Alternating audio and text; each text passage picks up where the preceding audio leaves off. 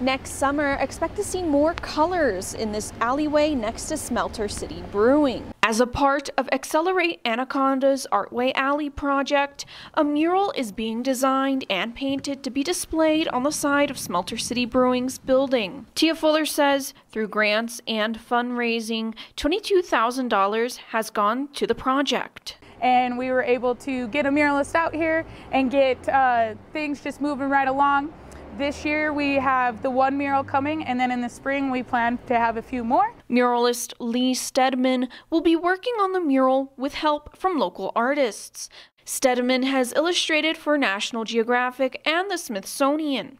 His paintings can be found in museum collections, which include the New York State Museum, the Cincinnati Museum of Natural History, and the Smithsonian's Museum of Natural History. The intersection of arts and community has always been a big interest of mine, and uh, I've really seen, uh, been hands-on and seeing how the arts can assist build community and uh, and improve a, a, town. The mural will be around 30 feet and painted on cloth to allow the painting to be taken down and moved if needed.